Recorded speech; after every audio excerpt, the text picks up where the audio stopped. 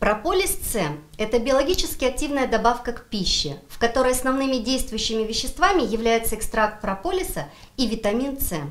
По содержанию антиоксидантов прополис С превосходит такие вещества, как клюкву, черноплодную рябину, бруснику, зеленый чай и лимон.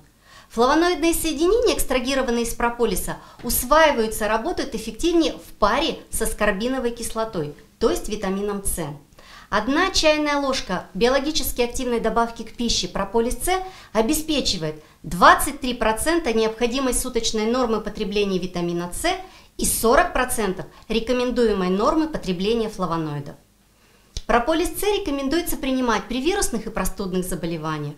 Двойная защита прополиса и витамина С помогает поддерживать иммунитет, усиливать защитные реакции организма и противостоять инфекциям. Thank you